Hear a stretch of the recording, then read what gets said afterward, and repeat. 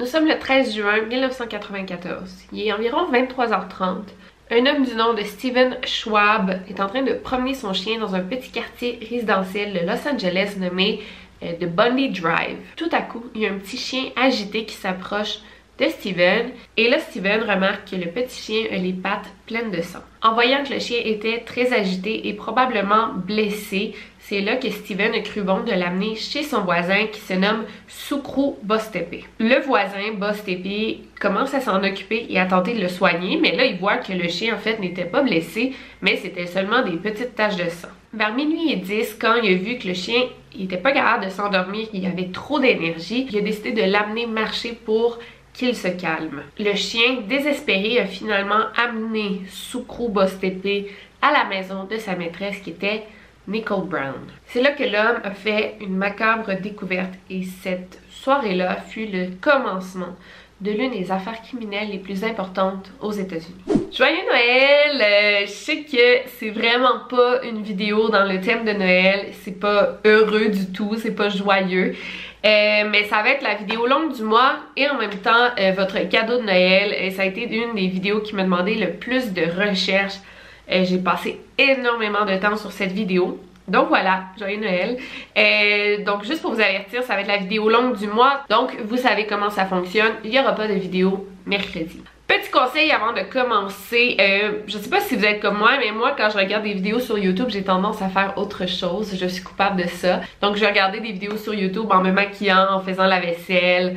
Euh, bon. Donc je vous conseille vraiment de porter attention pour cette vidéo. Il y a beaucoup de détails techniques, des noms euh, et moi, je rentre vraiment, vraiment en détail dans cette vidéo-là. Euh, j'ai beaucoup, beaucoup d'informations et c'est vraiment facile de s'y perdre si tu fais autre chose euh, en même temps. Donc, à la limite, euh, si t'es pas disponible en ce moment, là, réserve-toi cette vidéo-là pour vraiment y porter attention. en fait, tu fais ce que tu veux, mais c'est un petit conseil parce que même moi, en faisant mes recherches, en écrivant mon script, je trouvais que ouais, c'est vraiment une, une affaire difficile. L'affaire O.J. Simpson, c'est l'une des affaires criminelles les plus importantes aux États-Unis, mais surtout dans les plus médiatisés. Ça a été populaire pour plusieurs raisons, mais ça intriguait énormément pour trois questions euh, qui revenaient beaucoup euh, tout au long de l'affaire et du procès, soit la couleur de la peau, euh, la question de la célébrité et de la violence domestique. Aussi, le procès de O.J. Simpson fut la première fois qu'on mettait des caméras et des journalistes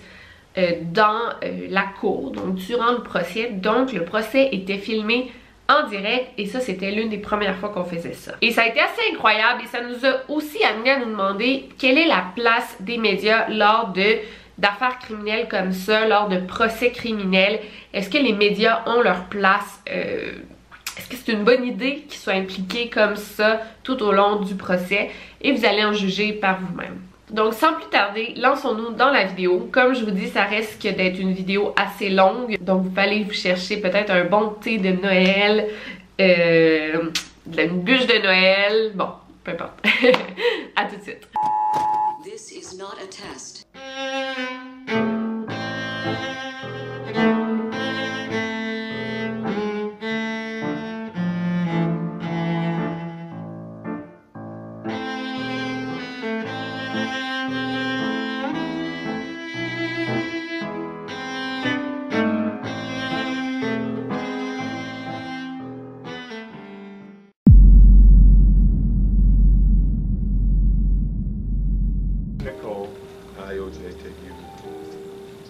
My wedded wife. Be my wedded wife. And I do promise and covenant. And I do promise and covenant. Before God and these witnesses. Donc Oriental James Simpson, plus connu sous le nom de O.J. Simpson, O.J. pour Orange Juice ou pour Oriental James.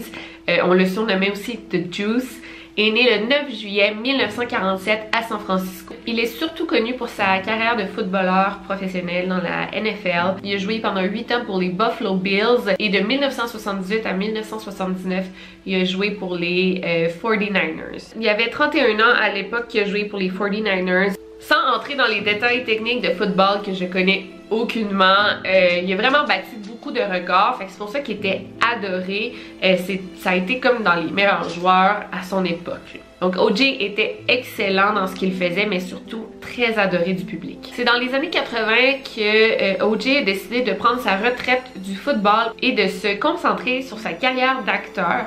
Euh, qui est pas si difficile quand tu es déjà une, célébrité, ben de faire le switch de footballeur professionnel à acteur professionnel n'était pas si compliqué pour O.J. Simpson qui était adulé par ses fans. Ça a été l'un des premiers athlètes noirs à avoir une aussi grosse carrière au cinéma, c'était vraiment un big deal. À l'âge de 19 ans, soit en 1967, euh, O.J. Simpson s'est marié pour la première fois à une jeune femme du nom de Margaret euh, L. Whitley. Ensemble, ils ont eu trois enfants, dont un qui malheureusement est décédé à l'âge de 1 an. Euh, il s'est noyé dans la piscine de la famille. C'est en 1977, à l'âge de 30 ans, que O.J. Simpson a connu la belle Nicole Brown, qui était une jeune serveuse de 18 ans dans un bar de Beverly Hills. Tout de suite, ce fut le coup de foudre entre O.J. et Nicole, même si O.J. était marié et que sa femme était enceinte.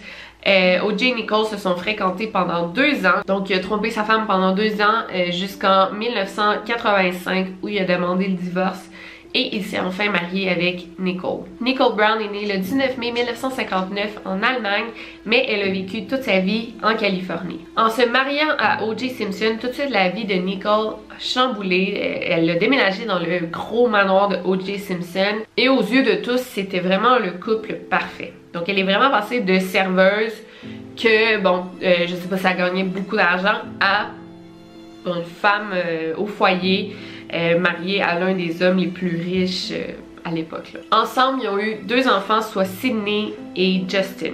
Par contre, le couple O.J. Simpson et Nicole Brown était loin d'être parfait. à plusieurs reprises, la police a été appelée dans des cas de violence conjugale où O.J. maltraitait Nicole, mais ça on va en parler un petit peu plus tard. Le couple s'est divorcé en 1992, euh, Nicole s'est pris un appartement sur Bundy Drive et O.J. est resté dans leur maison sur le Rockingham Avenue. Même après le divorce, le couple avait encore beaucoup de problèmes. O.J. était très jaloux, il acceptait pas que Nicole se rebâtisse une nouvelle vie, même qu'une fois, euh, Nicole s'est rendue dans un refuge pour femmes battues et elle un peu raconter ce qu'il vivait. En fait, O.J. Simpson la stalkait et même qu'elle s'était rendu compte qu'il avait volé ses clés de maison. Fait qu'il euh, la laissait vraiment pas vivre sa vie. Euh, donc même après le divorce, c'était loin d'être la joie pour Nicole.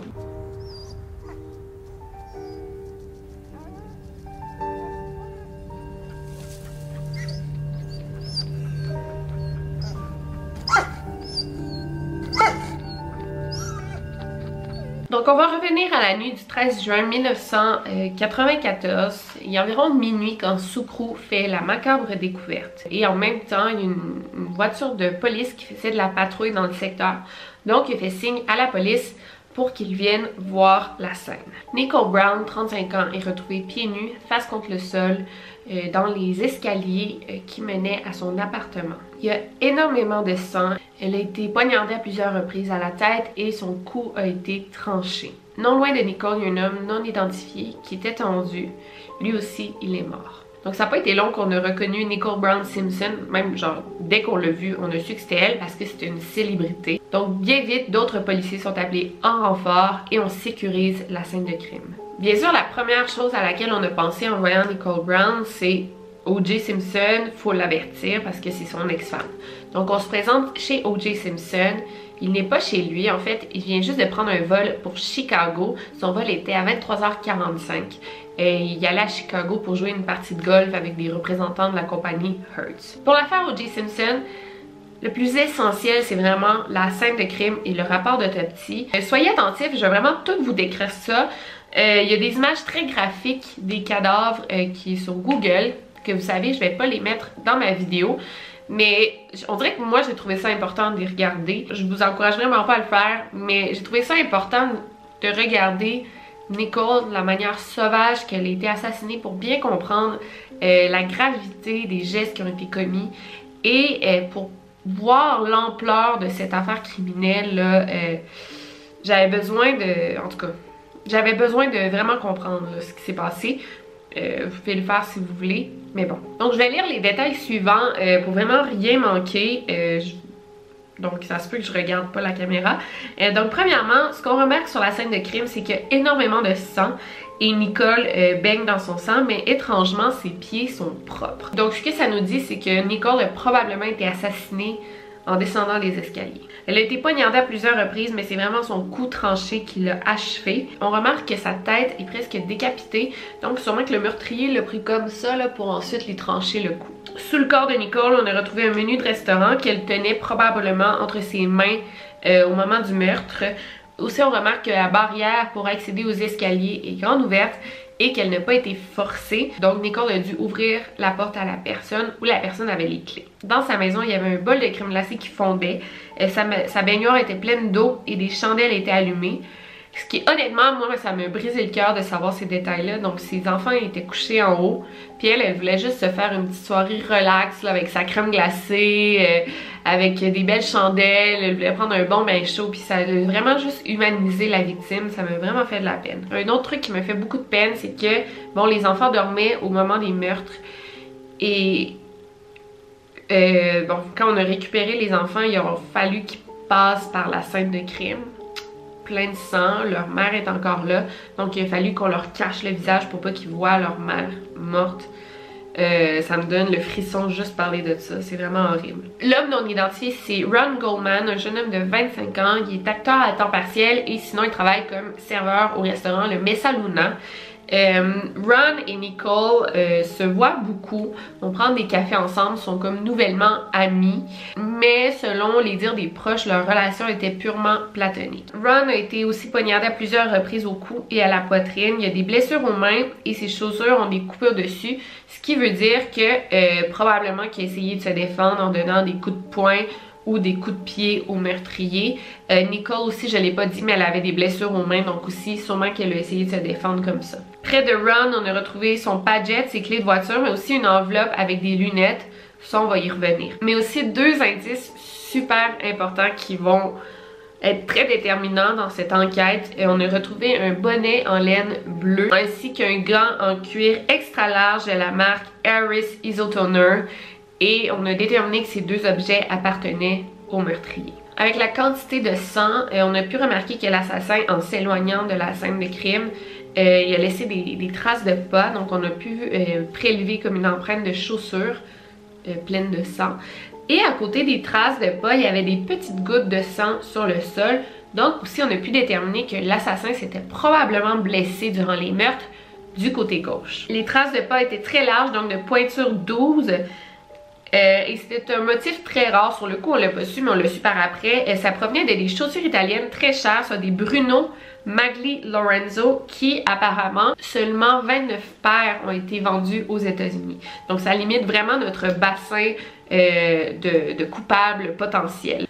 Le meurtrier a laissé beaucoup beaucoup d'indices sur la scène de crime, donc c'était clairement le travail d'un amateur.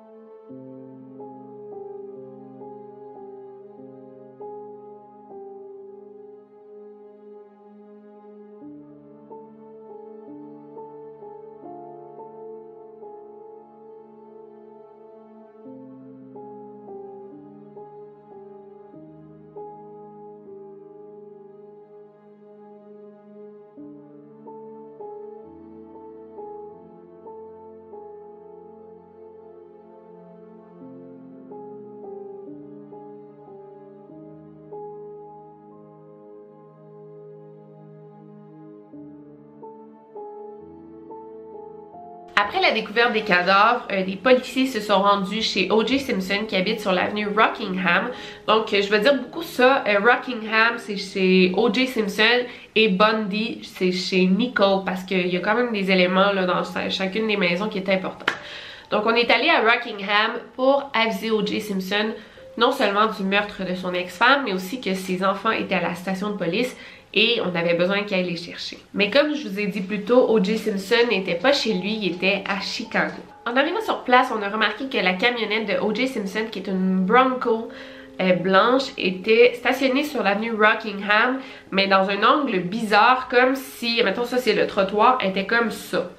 Euh, fait que sûrement que la personne qui conduit la voiture l'a vraiment stationnée en vitesse. Mais le plus important, c'est que sur la poignée de porte de la voiture, il y avait du sang et il y avait aussi des gouttes de sang qui menaient de la voiture jusqu'à la maison de O.J. Simpson. En voyant ça, euh, les détectives ont dit « Ok, peut-être que O.J est blessé, donc il faut vraiment aller vérifier qu'il va bien. Surtout que son ex-femme vient d'être abattue. Puis là, on se dit, ok, peut-être que O.J. lui-même a été euh, abattu également. Donc les détectives sur place qui se nomment Van Hatter et Furman sont entrés dans la résidence de O.J. Simpson sans mandat de perquisition parce que, euh, ben comme les circonstances faisaient qu'il fallait vraiment qu'ils vérifient que O.J. était en sécurité. Et là, je vous dis le nom des détectives Van Hatter et Furman. C'est aussi, retenez-le bien parce qu'on va y revenir. Aussi, je veux juste préciser qu'à ce moment-là, on craignait pour la sécurité de O.J., mais en aucun cas, O.J. Simpson était suspect. OK? Parce qu'on a Nicole, un homme random qui ont été assassinés. Euh, en aucun cas, O.J. est un suspect parce qu'il est supposé être à Chicago. Sur la propriété de O.J. Simpson, il y avait une petite chambre euh, de visite et O.J. la louait à un de ses amis. Ben, c'est pas vraiment un ami, c'est plus une connaissance du nom de Kato Kaelin. Les policiers l'ont interviewé brièvement euh, parce que là, l'ex-femme de O.J. a été assassinée et on retrouve des traces de sang chez O.J. Donc bien sûr, on va demander à l'homme qui est sur place s'il y a quelque chose à déclarer. Et il dit que vers 22h50, il a entendu comme un, bang dans le mur de sa chambre. Ce qui indiquait que O.J. Simpson était probablement chez lui vers 22h50. En entrant dans la maison de O.J., encore là, il n'y a pas de mandat de perquisition. On remarque qu'à l'intérieur de la maison, il y a des petites gouttes de sang. Et c'est là qu'on retrouve le deuxième gant en cuir, euh, la main gauche, euh, qui matchait avec le gant en cuir retrouvé chez Nicole. C'est le détective Furman qui a découvert euh, le deuxième gant en cuir.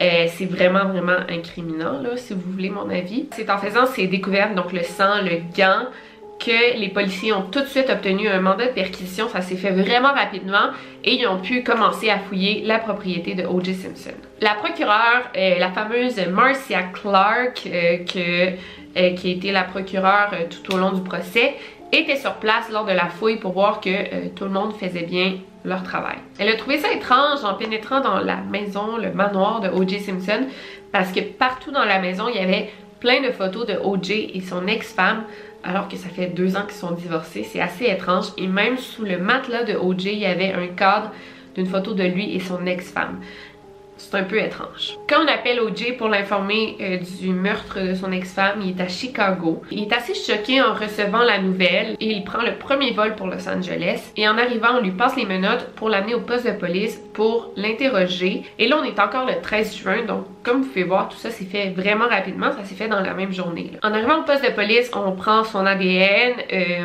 quelques photos et on l'interroge rapidement trop rapidement. Quelques trucs étranges. Euh, premièrement, OJ n'est pas accompagné de euh, son avocat. Pourtant, son avocat était sur les lieux, mais il a dit non, je vais le laisser aller toute seule. Ça, c'est bizarre. On remarque toutefois que OJ est blessé à la main gauche. Euh, il y a un bandage autour de, sa main. On lui demande comment il s'est fait ça. Il dit qu'il s'est blessé à Chicago.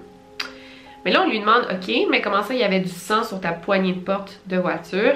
Et là, OJ s'est tout de suite repris en disant, ah, en fait, je me suis rendu compte que je m'étais blessé à Chicago.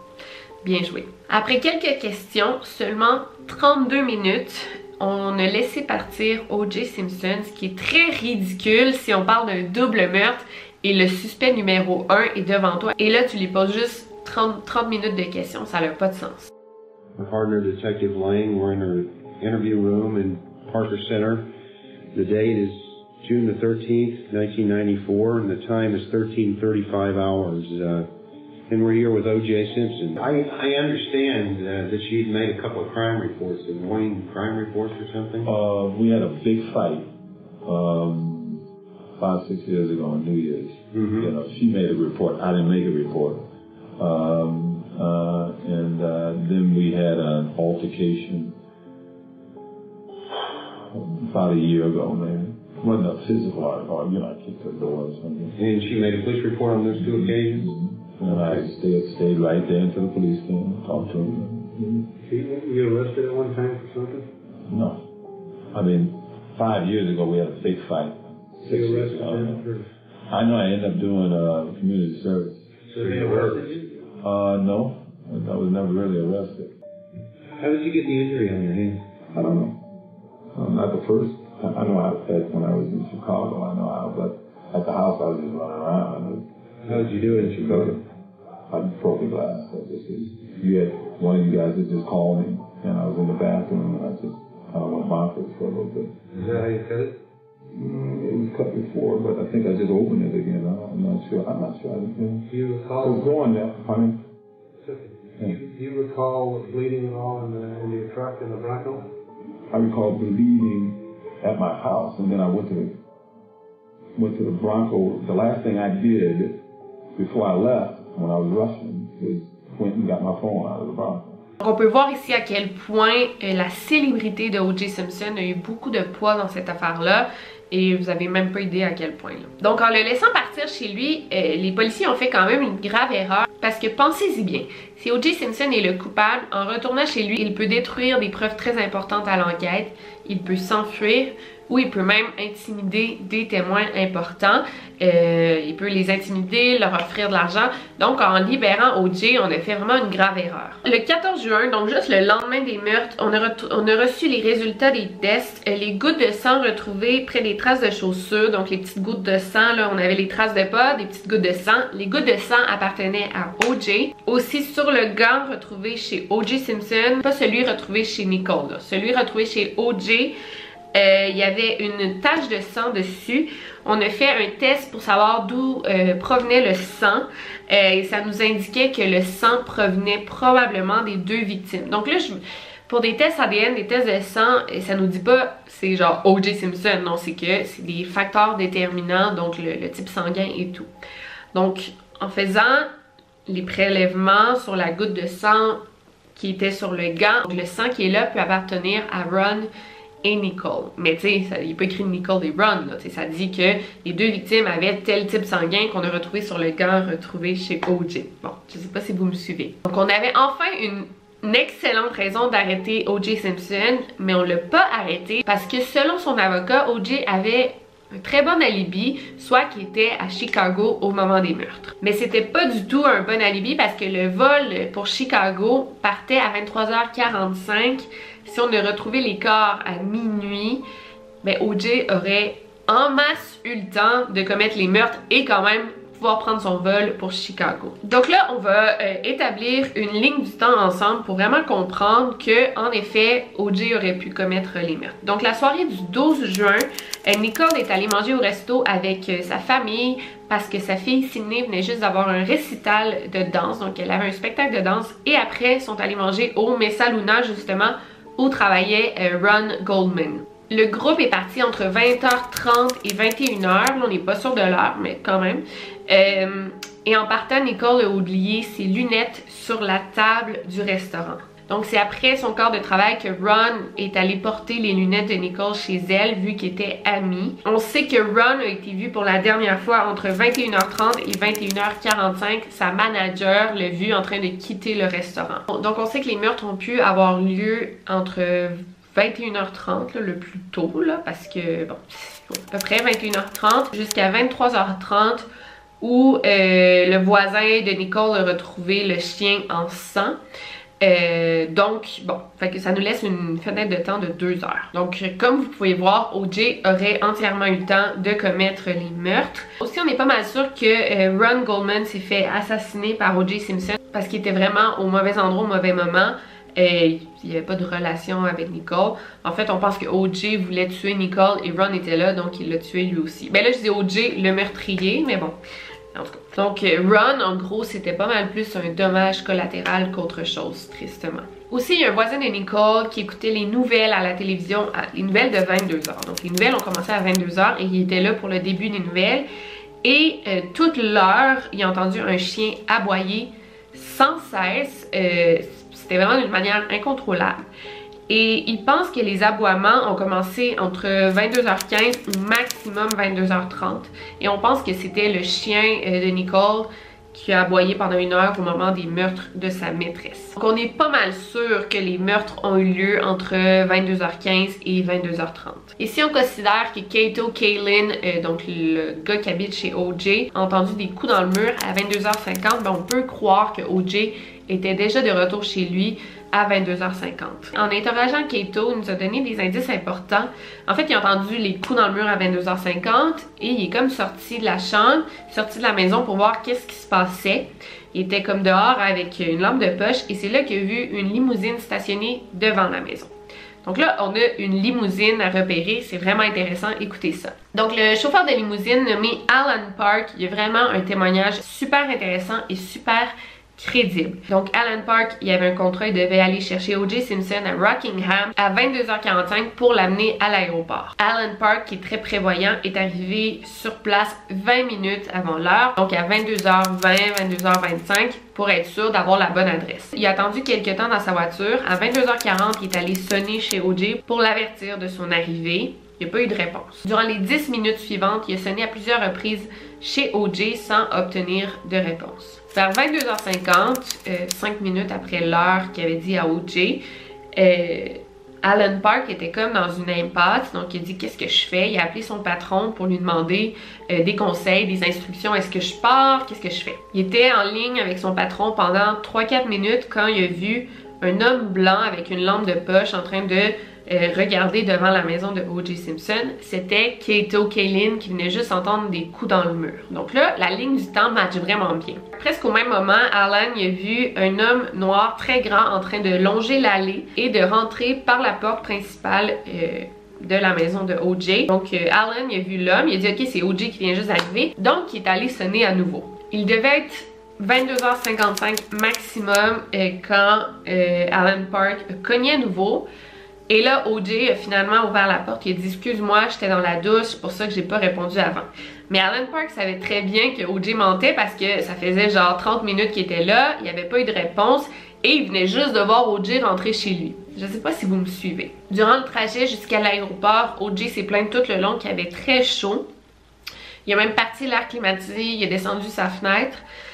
Pourtant, c'était comme une température assez fraîche pour euh, cette journée-là. C'était même hors des températures normales de saison. Fait que Alan Park a trouvé ça bizarre que OJ est en chaud. Donc pour récapituler, si euh, Nicole et Ron se sont fait euh, tuer à 22h10 ou même aussi tard que 22h40, ça donnerait quand même entièrement le temps à OJ de retourner chez lui et de répondre à Alan Park, le chauffeur de limo à 22h55.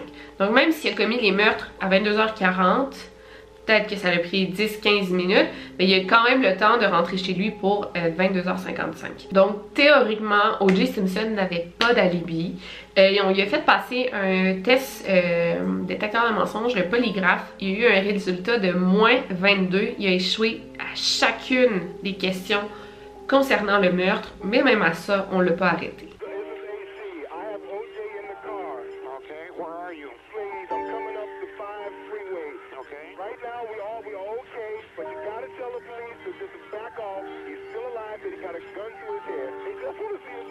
Donc les meurtres ont eu lieu euh, dans la nuit du dimanche au lundi et dès le mardi, OJ a engagé euh, un avocat qui était Robert Shapiro. Euh, c'est l'un des meilleurs avocats de la Californie, là, vraiment. Évidemment, dès le lendemain des meurtres, OJ est traité pour dépression majeure. Il est suicidaire et ça ne va pas bien du tout. Donc là, les policiers ont rassemblé assez de preuves pour arrêter O.J. Simpson pour meurtre au second degré. On avertit Robert Shapiro, euh, l'avocat de O.J. pour lui dire que, bon, vendredi le 17 juin, euh, on va arrêter O.J. Simpson, on va le mettre en prison. Présentez-vous au poste de police pour 11 heures. Le jeudi soir, O.J. est dépressif, il va vraiment pas bien parce qu'il sait que dès le lendemain, il va être arrêté et mis en prison.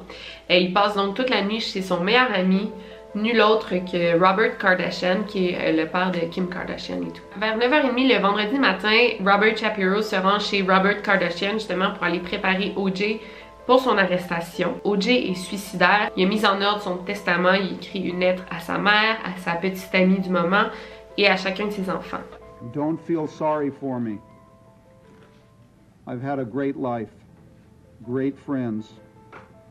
Please think of the real OJ and not this lost person. Dans les lettres, euh, il proclame son innocence en lien avec les meurtres de euh, Nicole et Ron. Vers 11h, quand OJ ne se présente toujours pas au poste de police, euh, en fait, son docteur dit qu'il n'est pas apte à se faire arrêter tout de suite.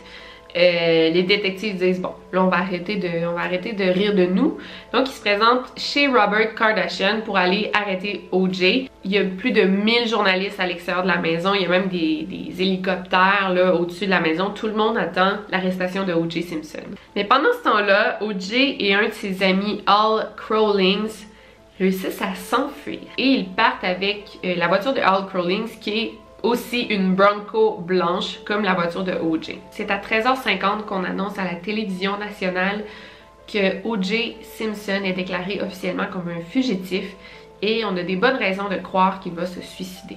He is a wanted murder suspect and we will go find him. À 17h51, OJ a fait un appel au 911, donc on a pu retracer le téléphone qui provenait de Santa Ana, donc il était présentement à Santa Ana. À 18h21, il y a un homme de Orange County qui a appelé la police et dit Ok, je viens de voir une Bronco blanche qui est conduite par Al euh, Crowlings et euh, dans la voiture, il y a O.J. Simpson également. Donc on sait que O.J. est maintenant rendu à Orange County. Donc on réussit à le traquer bien vite. À 18h45, il y a une voiture qui réussit à s'approcher de la voiture et on ordonne à Al Crowlings de se ranger sur l'accotement pour pouvoir arrêter OJ. Mais là, Crowlings crie aux policiers genre « Restez loin, OJ, euh, a son fusil sur la tempe et il menace de se suicider si j'arrête de rouler. »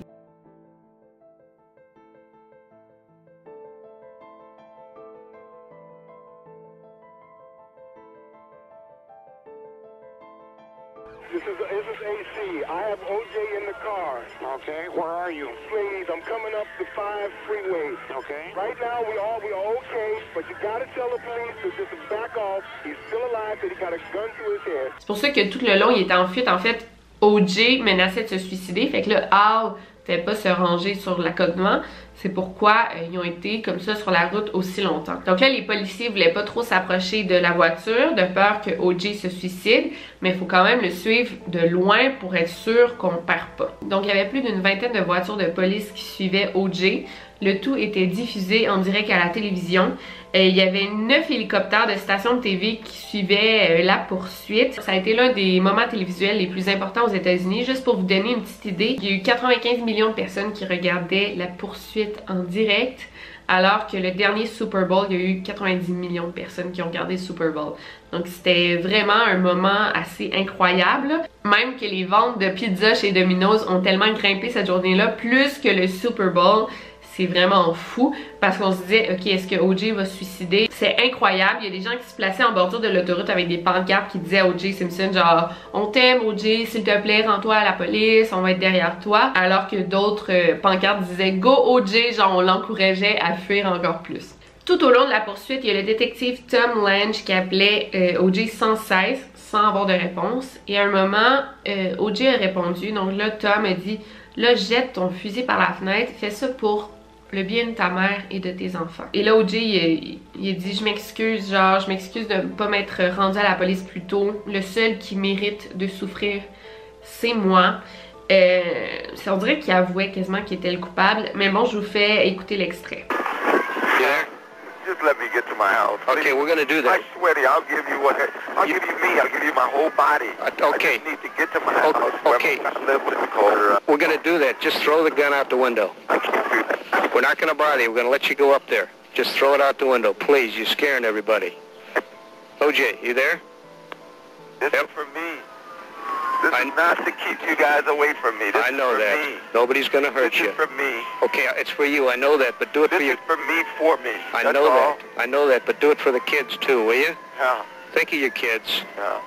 Please, just toss it out. You're scaring everybody, man. OJ a demandé de parler à sa mère au téléphone et il a dit si je réussis à parler à ma mère, je vais me rendre à Rockingham à 20h pour que vous puissiez m'arrêter. Il s'est rendu à Rockingham euh, pour 20h où il y avait 27 officiers de la SWAT qui l'attendaient. Quand on a fouillé sa voiture, la, ben, la Bronco de son ami, on a retrouvé 8000 dollars en argent comptant, des vêtements, un fusil, un passeport américain, euh, des photos de famille, euh, de la famille de OJ et une fausse moustache. Fait que c'est clair que OJ pensait comme refaire sa vie ailleurs.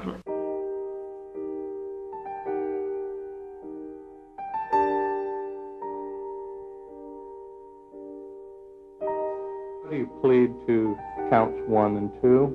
Absolutely 100% not guilty. And do you deny? Donc l'audience préliminaire a eu lieu le 20 juin, donc trois jours après son arrestation. Euh, O.J. Simpson a plaidé non coupable au meurtre de Nicole Brown et de Ron Goldman et le procès officiel allait commencer le 23 janvier 1995. Euh, Donc le procès c'était euh, The People versus O.J. Simpson. Euh, The People, c'est le procureur qui, s'en occupe là. Donc le procureur contre la défense O.J. Simpson. O.J. avait engagé les meilleurs avocats de la Californie parce qu'évidemment il y avait beaucoup d'argent. On a surnommé son équipe d'avocats de Dream Team parce qu'il y avait vraiment une équipe de requins. Alors que la procureure, c'était Marcia Clark et son équipe. C'était vraiment difficile parce que bon, c'était Marcia vraiment contre O.J. Simpson son équipe d'avocats qui ont un ego surdimensionné. Et en fait, euh, en tout cas, je vais vous montrer tantôt, euh, moi j'ai lu le livre de Marcia Clark, là, et euh, c'est vraiment, c'est fou, là, tout ce qu'elle a vécu en tant que femme durant ce procès-là, c'était vraiment horrible. en fait, la stratégie de la défense, c'est que les avocats de O.J. Simpson ont vraiment joué la carte du racisme pour leur défense. Soit que les policiers du LAPD auraient manipulé la scène de crime pour incriminer O.J. Simpson. Euh, ce qui est complètement ridicule, on sait pas vraiment pourquoi il ferait ça, il y aurait aucune raison de faire ça. Et Marcia Clark, elle a joué la carte de euh, la violence conjugale en fait qui se termine en meurtre. Parce qu'en fait, c'était pas, elle a pas joué n'importe quelle carte, c'est vraiment ça, c'est le féminicide d'une femme qui s'est fait abuser pendant plusieurs années par son mari. Avec une histoire de meurtre aussi connue, c'était assez difficile de sélectionner des membres du jury euh, parce qu'ils étaient presque tous déjà au courant de l'affaire. Mais aussi, c'est que plusieurs d'entre eux euh, vénéraient O.J. Simpson. Donc, ça nous prenait des gens qui vénéraient pas O.J. Simpson, pas qu'ils le détestaient non plus, mais des gens qui, étaient comme juste indifférents à la célébrité de O.J. On leur a préparé comme une longue liste de questions et chacun des futurs membres du jury, fallait qu'ils répondent de manière très honnête. C'était des questions genre As-tu déjà été abusé par ton conjoint? Parce que si toi, tu as déjà vécu de la violence conjugale, ça peut comme teinter ton opinion. Euh, aussi, euh, as-tu déjà été arrêté par la police de Los Angeles, le LAPD? Parce que si tu as une opinion négative de la police de Los Angeles, ça aussi, ça peut teinter ton opinion. Est-ce que tu es fan de O.J. Simpson? Parce que ça aussi, tu sais, si tu es fan de O.J., c'est sûr que tu vas pas décider qu'il est coupable. Je sais pas si vous me comprenez.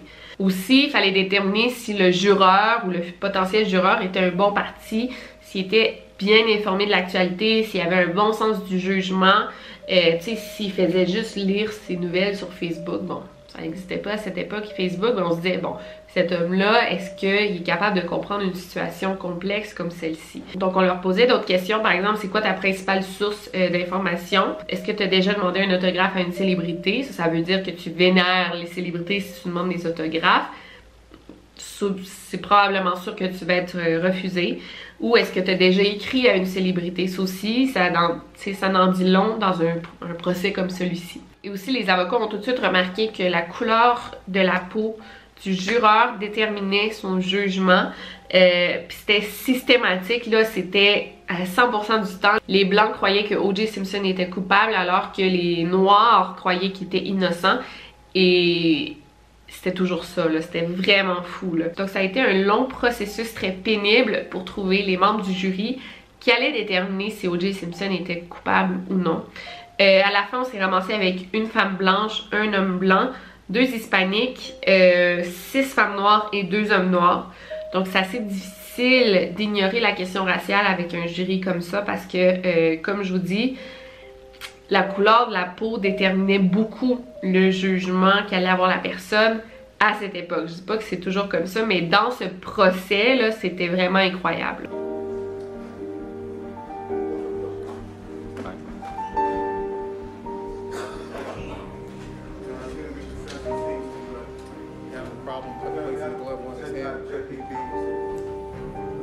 Donc le procès a commencé le 23 janvier 1995. Il y avait des millions et des millions de téléspectateurs qui ont regardé euh, le procès en direct. Donc pour commencer, je vais établir les preuves qu'on a contre OJ. Euh, je vais faire comme une liste, puis c'est incroyable, vous allez voir. Puis encore là, il faut que je lise vu que c'est des détails assez importants. Donc les preuves euh, du procureur qui, vont prouver que O.J. Simpson est coupable. Donc il y en a énormément. Donc premièrement, on a les gouttes de sang qu'on a retrouvées chez euh, Nicole. Donc on a les gouttes de sang retrouvées à l'extérieur du condo de Nicole. Euh, ça correspondait à O.J. Simpson. En fait, ça marche par marqueur génétique. En fait, le sang retrouvé, il y avait seulement 0,05% de la population qui possédait ce sang-là. C'est soit une personne sur 200. Et O.J. avait ce marqueur génétique. Donc, ça vous donne une bonne idée. Je vous rappelle qu'on a retrouvé aussi des gouttes de sang chez O.J. Euh, les gouttes de sang retrouvées chez OJ et sur la poignée de porte de la Bronco, de la voiture de OJ, appartenaient à OJ Simpson. Euh, le gant retrouvé chez Nicole, il y avait du sang sur le gant qui appartenait également à O.J. Simpson. Le gant retrouvé chez O.J. Simpson, euh, il y avait du sang qui appartenait à O.J., à Ron et à Nicole sur le gant. Chez Nicole, je vous rappelle qu'on a retrouvé des traces de pas, on a avec une une empreinte de la chaussure. Et ça provenait de chaussures de pointure 12, comme O.J. Simpson. Dans le lavabo de la salle de bain, qui était dans la chambre de O.J. Simpson et dans la douche, euh, on a retrouvé du sang. Donc, on pense que O.J. s'est probablement lavé en vitesse avant de partir à l'aéroport. Les tests ont montré que c'était positif. En fait, il y avait des traces de sang euh, dans l'eau qui avait coulé dans le lavabo et dans la douche. Mais on n'a pas fait de test assez approfondi, donc le sang pouvait aussi provenir de la rouille. Ça a comme, en tout cas, fait que... Euh, on n'a pas pu amener ça en cours pour prouver que c'était du sang, en fait. Euh, quelques jours avant les meurtres, OJ a acheté un couteau à un homme du nom de José Camacho. C'est un témoin très solide, très crédible, mais euh, après avoir fait son témoignage, il a vendu son témoignage dans un magazine à potin pour 10 000 donc le témoignage n'était plus vraiment valide en cours. Donc le procureur a décidé de ne pas amener ce témoignage-là en cours parce que la défense aurait pu dire « Ok, mais ton témoin n'est pas crédible parce qu'il a vendu son histoire ». Mais bon, le fait est que O.J. aurait apparemment acheté un couteau à cet homme-là quelques jours avant les meurtres. Je vous rappelle qu'on a retrouvé euh, un bonnet en laine bleue sur la scène de crime. On aurait retrouvé des cheveux de O.J. Simpson dans le bonnet ainsi que des fibres du tissu euh, à l'intérieur de la voiture de la Bronco. Il y a comme un tissu là. ça, ça laisse, il y a comme des petites fibres. Et on aurait retrouvé euh, ces fibres sur Ron Goldman. Et en fait, toute, toute la question du motif, c'est pourquoi O.J. aurait tué Nicole. En fait, comme je vous ai dit, il y a une grosse historique de violence conjugale entre OJ et Nicole. En automne 93, Nicole a appelé le 911 parce qu'elle était en grosse dispute avec OJ et euh, il y avait comme tout détruit, euh, elle avait des portes françaises chez elle et il a tout détruit les portes françaises. On a même un extrait de l'appel 911 euh, que je vais vous faire écouter tout de suite.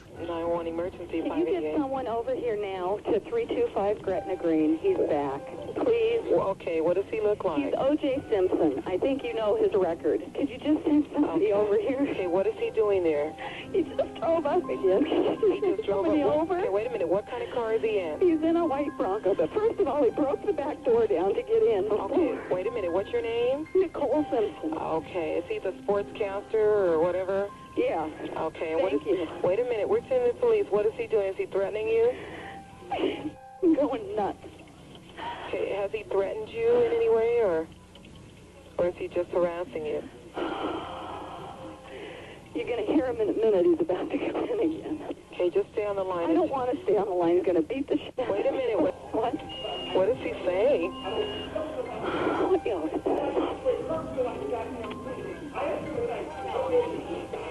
Unit show domestic violence at 30 correction 325 South Gretna Greenway.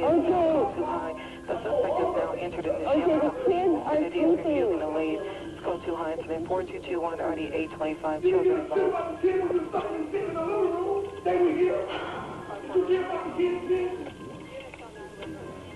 Donc c'est assez horrible. On voit que Nicole était clairement terrifiée. Et quand les policiers sont arrivés sur place, euh, OJ était incontrôlable. Il faisait juste crier que Nicole avait fréquenté d'autres hommes. Une autre fois, alors que OJ et Nicole étaient dans un hôtel à Las Vegas, OJ s'est fâché contre Nicole. Il l'a attrapé par les cheveux comme ça et l'a tiré dans le corridor à l'extérieur de la chambre d'hôtel. Elle est restée à l'extérieur de la chambre pendant euh, presque une heure. Elle était à moitié nue. Elle pleurait jusqu'à temps qu'un gardien de sécurité la voie et vienne la secourir. Une autre fois, avant que leur fils Justin naisse, euh, Nicole avait comme, avait comme vu dans le tiroir de sous-vêtements de OJ une petite boîte de bijoux qui contenait des boucles d'oreilles en diamant. Comme l'anniversaire de Nicole s'en elle a dit Ok, c'est un cadeau surprise pour moi, le mien est la petite boîte là. Quand à son anniversaire, elle a pas reçu les bijoux, elle a dit Ok, il y a quelque chose d'étrange. Elle avait des doutes que OJ à cette époque fréquentait genre un mannequin de New York. Et quand elle a vu la photo de la femme mannequin qui portait les boucles d'oreilles en diamant qu'elle avait vues, elle a confronté O.J. Simpson. Euh, il l'a battu euh, à coups de poing, coups de pied et ensuite il l'a embarré dans une garde-robe pendant plusieurs heures. Donc ça c'est quelques épisodes parmi tant d'autres, euh, mais O.J. était extrêmement violent avec sa femme. Et ça, la famille de Nicole Brown, les Brown, savait très bien que O.J. était violent envers Nicole. Mais c'était vraiment bizarre, c'est comme si durant le procès, les Brown, il n'y avait jamais les procureurs, tu sais, ta fille se fait assassiner, toi en tant que parent, tu vas tout faire pour, mettre son assassin derrière les barreaux. Si le procureur te demande des documents, des informations, des photos, tu vas, les trouver tout de suite. Si ça peut permettre de mettre l'assassin en prison. Mais non, il était pas du tout coopératif. Il disait oui, oui, on va vous donner ça. Et il oubliait de donner des, des documents. Il y a des témoignages qu'il disait pas au procureur. Mais ils vendaient leurs témoignages dans des magazines à potins. Euh, on comprend pas. Mais ce que le public savait pas, c'est que OJ a considérablement aidé les Brown financièrement. C'est même OJ qui a acheté une maison à la famille euh, de Nicole Brown. Donc je pense qu'il était comme réticent à mettre O.J. Simpson en prison, ce qui est ridicule. Et on pense que c'est peut-être ça ou qu'il avait peur de lui. On sait pas. Aussi, on a retrouvé un coffre-fort que Nicole avait à la banque. Euh, le coffre-fort, bien sûr, elle l'avait ouvert à l'insu de son mari. On a retrouvé euh, plein de lettres écrites par O.J. à Nicole, mais aussi de Nicole à O.J.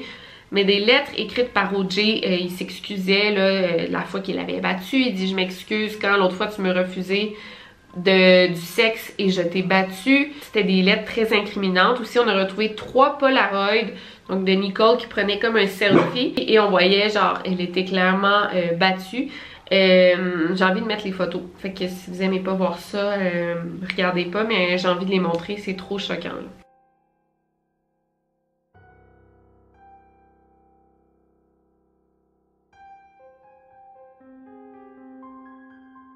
Donc c'est vraiment horrible de voir ça. Aussi, Nicole, elle avait un journal intime. En fait, c'était son avocat qui avait dit chaque fois que OJ te néglige ou néglige tes enfants ou te bat, écris ça dans ton journal de bord. Donc on a retrouvé ce petit journal intime également. Et si on se demande pourquoi Nicole gardait toutes ces preuves, on dirait quasiment qu'elle savait qu'elle allait être victime de son mari, comme si elle savait que OJ allait finir par l'achever et elle voulait prouver qu'elle avait vécu de la pendant plusieurs années et que si elle mourait d'une manière étrange, c'était probablement O.J. Simpson le coupable. C'est assez fou toutes les preuves de, de violence conjugale qu'on avait contre O.J. Simpson et comme je vous dis, c'est clairement une histoire de violence conjugale qui finit en meurtre. Mais les avocats de la défense, les avocats de OJ, eux, voulaient jouer la carte du racisme. Et en effet, on peut se l'avouer, les hommes noirs euh, dans le système de justice américain, pas juste américain, je sais, même au Canada, en France, ils vivent beaucoup de profilage racial et sont très souvent pénalisés par le système de justice. Mais dans le cas de O.J. Simpson, il n'a jamais été pénalisé par la couleur de sa peau, c'était plutôt le contraire. À toutes les occasions que Nicole appelait la police et elle avait peur de se faire tuer par son mari, O.J., jamais il y a eu de rapport de police qui ont été faits. Elle a dû appeler à plus de cinq reprises la police pour dire c'est O.J. Simpson, il est en train de me battre, il va finir par me tuer. Et la police laissait toujours ça passer, ils n'ont jamais fait de rapport de police parce que c'était O.J. Simpson. Et O.J. était très charmeur. Il disait, OK, je vais te signer un autographe pour ton fils. Puis les, les policiers disaient, bon, on n'a pas besoin de faire de rapport, c'est O.J. Simpson. Fait que Nicole appelait la police, mais il n'y a rien qui était fait contre elle. C'est fou comment le système de justice a laissé tomber cette femme-là. Ça me bouleverse. Même Mark Furman, euh, c'était le policier qu'on a accusé d'avoir manipulé la scène de crime. Même lui a déjà été appelé lors d'une dispute entre OJ et Nicole. Il s'est rendu sur place et euh, OJ s'était disputé avec Nicole puis il avait donné un coup de poing dans la fenêtre de la voiture qui avait explosé. Et Mark Furman était sur place et il a décidé de ne pas arrêter OJ cette soirée-là. Ensuite, on accuse le détective Mark Furman d'avoir manipulé la scène de crime pour arrêter O.J. Simpson. Mais s'il avait vraiment voulu arrêter O.J. Simpson, il l'aurait fait au moment de l'épisode de violence conjugale. Donc c'est très ironique et ça n'a pas vraiment de sens, cette défense-là du, profilage racial. En fait, l'argument numéro un de la défense, c'est que, bon, que quand Mark Furman est arrivé sur la scène de crime chez Nicole, apparemment, il y avait deux gants il aurait pris l'un des gants et il l'aurait, on dit, euh, planté, il l'aurait placé chez O.J. Simpson pour l'incriminer, ce qu'on appelle euh, to plant evidence. Et pourquoi on accusait Mark Furman? En fait, Mark Furman, il avait une mauvaise réputation. En fait, il avait déjà dit des propos racistes à son psychiatre dans les années 80. Il disait souvent de N-word, que je dirais pas ici. Fait on a dit, ok, c'est un inspecteur raciste, c'est sûr qu'il veut faire arrêter O.J. Simpson parce que c'est un homme noir. Mais comme je vous dis, il y a eu plusieurs occasions d'arrêter O.J. dans le passé et il ne l'a pas fait. Première, euh, première raison qui détruit cet argument. Mais en fait, c'est assez ridicule d'accuser Furman d'avoir pris un gant pour le mettre chez O.J. parce que plusieurs autres policiers avaient vu la scène des crimes avant Mark Furman. En fait, on a fait la liste Combien d'inspecteurs est allé sur la scène de crime euh, chez Nicole? Il y a 16 personnes qui sont allées et aucun des 16 inspecteurs aurait vu qu'il y avait deux gants chez Nicole. Ils ont vu seulement qu'il y avait un gant sur la scène de crime. Donc la grosse stratégie de la défense, c'était justement qu'on aurait pris le gant, on l'aurait mis chez OJ pour incriminer OJ. Mais non, on n'a aucune preuve pour faire avancer cet argument. Et pensez-y bien. On est minuit, la, soirée du 13 juin, et on retrouve le corps de Ron et Nicole Brown. On a juste retrouvé les corps à ce moment-là. On n'a aucun indice. sais, en voyant les corps, là, à première vue, il aurait pu s'agir d'un suicide. On le sait pas. Et en aucun cas, O.J. Simpson est le coupable parce qu'on sait même pas il est O.J. à ce moment-là. Il est peut-être genre en Alaska, tu sais. On n'a aucune idée de où est O.J. à ce moment-là. Encore moins s'il est suspect dans cette affaire-là parce qu'il aurait pu avoir un alibi. Peut-être que ça faisait une semaine qu'il était en Alaska. On n'a aucune idée. Fait que pourquoi Mark Furman aurait pris un gant et aurait risqué toute sa carrière de police pour incriminer O.J. Simpson alors qu'on n'a aucune idée s'il pouvait être suspect à ce moment-là? Parce que comme je vous dis, peut-être qu'il y avait un alibi super solide O.J. Simpson à ce moment-là. Pourquoi Mark aurait voulu incriminer cet homme-là? Tu sais, si...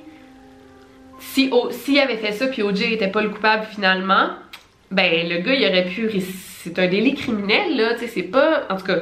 Je sais pas si vous comprenez à quel point cette défense n'a aucun sens. Donc là, la question à la défense, c'est, ok, bon, Admettons que c'est pas O.J. Simpson qui a fait les meurtres alors qu'on a toutes des preuves contre lui. Admettons que c'est pas O.J. c'est qui qui a fait les meurtres? Fait que là, la défense essayait de dire Ah, ben on pense que à cause de la blessure dans le cou de Nicole, ça ressemble à une, technique de meurtre qu'un cartel de drogue colombien faisait, qu'on appelle genre le, je sais pas, le collier colombien ou une affaire comme ça. Ils disent Ouais, ça ressemble à le type de blessure que les victimes de, cartels de drogue colombiens mais encore là, c'est complètement ridicule. Pourquoi Nicole et Ron se, seraient fait tuer par des membres de cartel de drogue alors qu'ils ne consomment même pas de drogue, là, tu sais?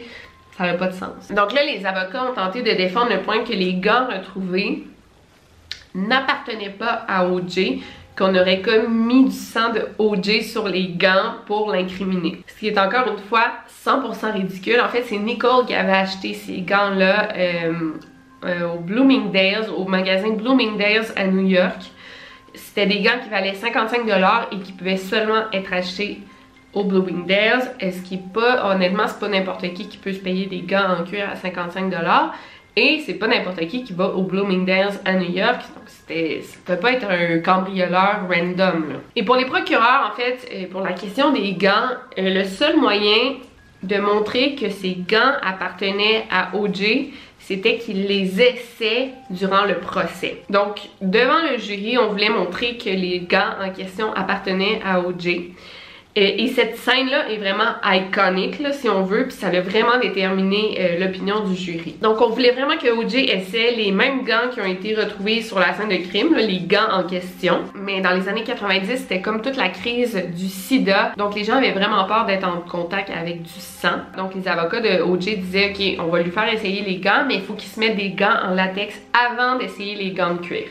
Et là, évidemment, avec les gants à latex, ça devient vraiment difficile de mettre une autre paire de gants par-dessus. Donc, ça rendrait vraiment la tâche difficile. Fait que ça serait difficile de démontrer que ces gants en question appartenaient à OJ si la difficulté à les enfiler. Je sais pas si vous me suivez. ce qu'on a fait, c'est qu'on a commandé euh, une paire de gants extra larges. En fait, les mêmes, mêmes gants euh, qu'on a retrouvés sur la scène de crime, on les a commandés chez Bloomingdale's. Donc, on a reçu les gants, donc la, la paire de gants identiques, mais au moment de les faire essayer, on a découvert que c'était pas les mêmes gants. En fait, les gants retrouvés sur la scène de crime, c'était des Harris, mais par erreur, les procureurs ont acheté des Harris Light. Donc, c'était pas les mêmes gants.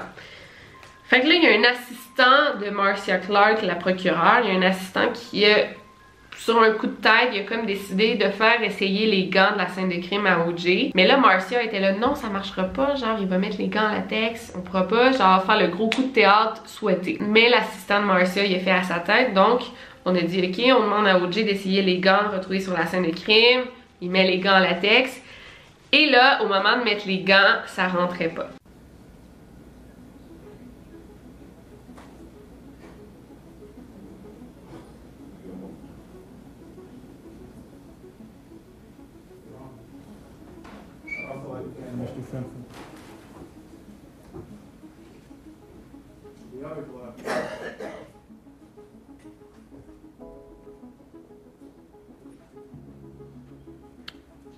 This is uh, People's 164A. Is that the right-hand glove?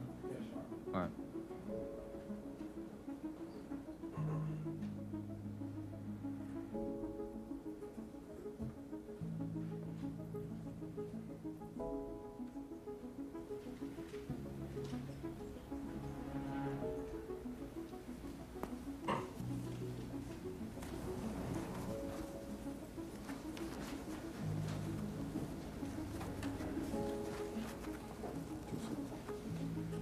Deputy Jax, would you just take a step back, please? Thank you.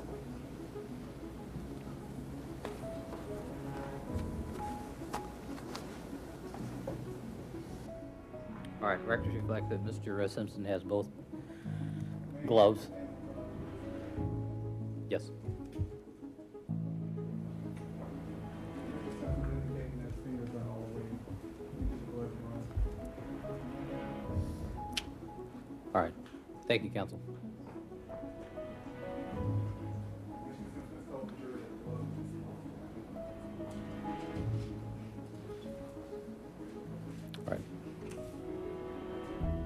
Mais pensez-y, en fait, les avocats de la défense, les avocats de O.J. Simpson savaient très bien que la procureure allait lui demander d'essayer les gants.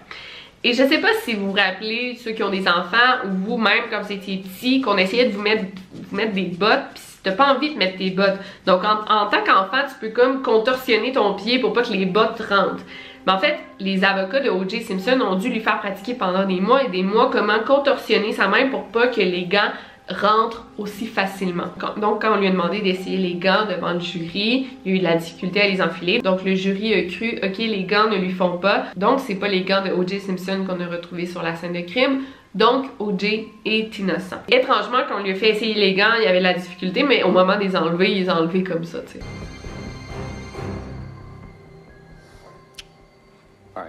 Thank you, counsel. Et en plus de ça, des gants de cuir comme ça, euh, quand ils sont mouillés, exposés à un froid ou à une chaleur extrême, ils peuvent réduire de la grosseur de 15%. Donc c'était vraiment pas euh, la meilleure euh, démonstration à faire. Mais ça, les procureurs savaient pas. Pour les gants qui réduisent de grosseur, ça, ils savaient pas. Et en plus de ça, après la fameuse démonstration de l'enfilage de gants, les procureurs ont reçu des centaines et des centaines de photos de O.J.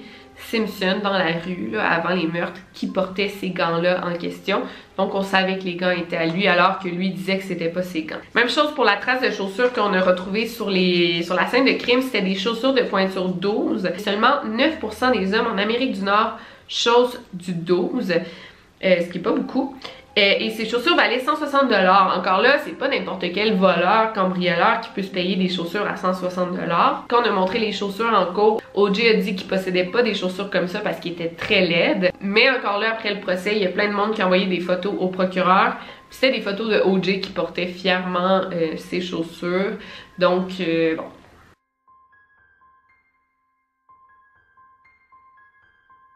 Donc après 372 jours, le procès s'est enfin terminé.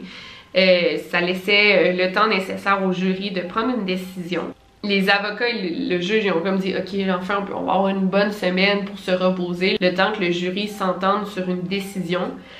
Mais non, ça a pris deux heures pour le jury de prendre leur décision et d'être unanime sur le fait si O.J. Simpson est coupable ou innocent. Et en sachant ça, Marcia était comme un peu soulagée, était comme, c'est sûr que O.J. va être jugé euh, coupable, tu sais, yes.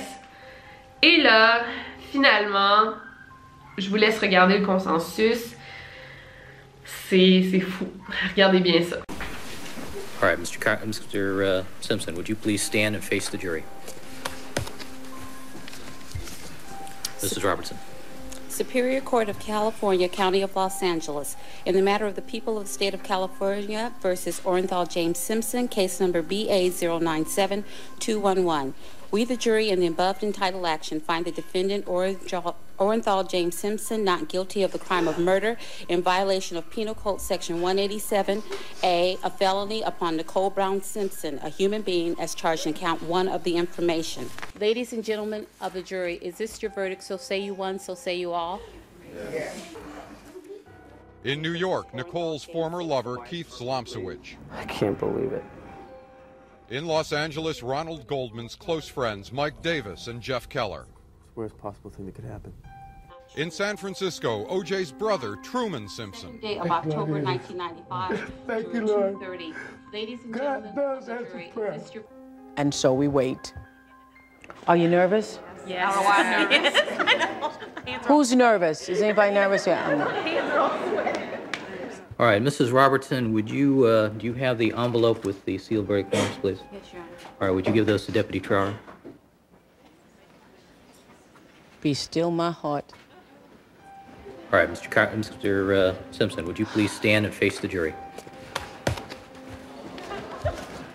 Mrs. Robertson.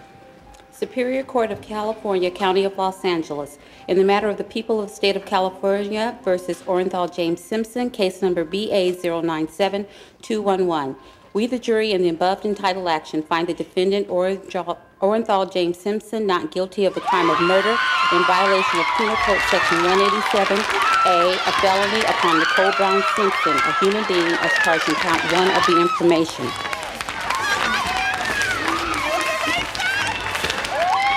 Superior Court of the State of California, County of Los Angeles, in the matter of the people of the State of California versus Orenthal James Simpson.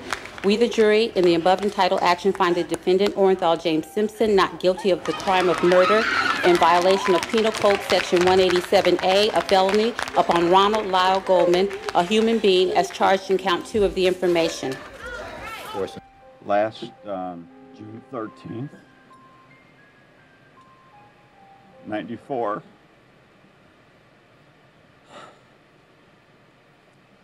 Was the um, worst nightmare of my life.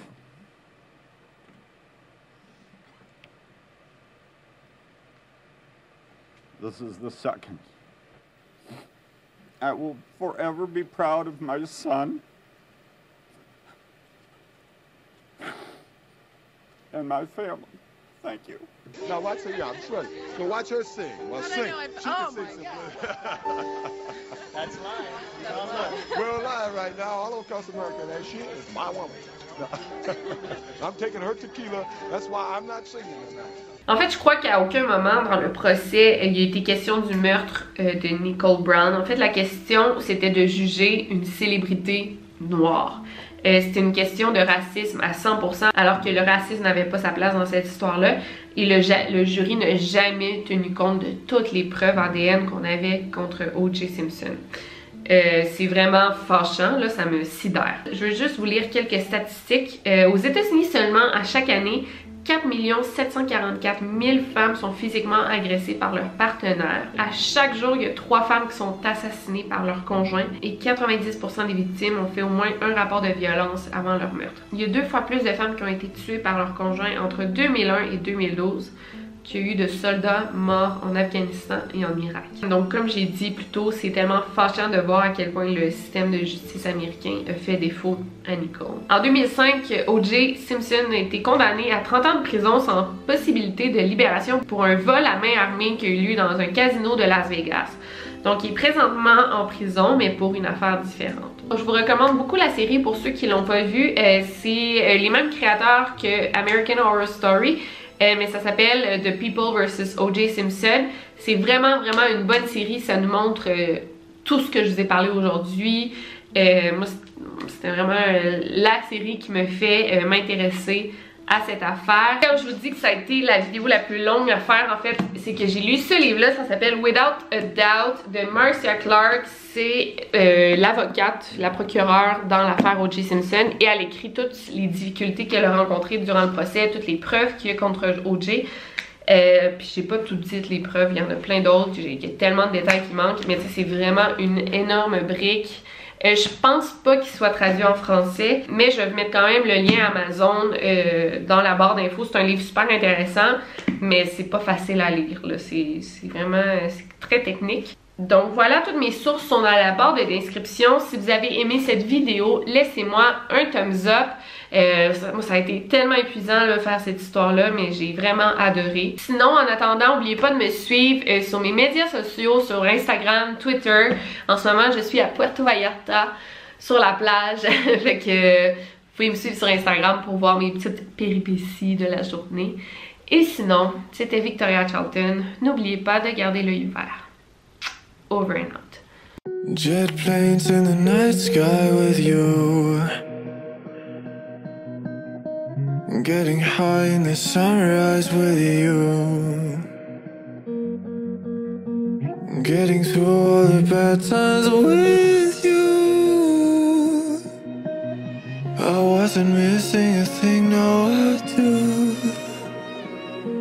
And I wish that I could put it time moves on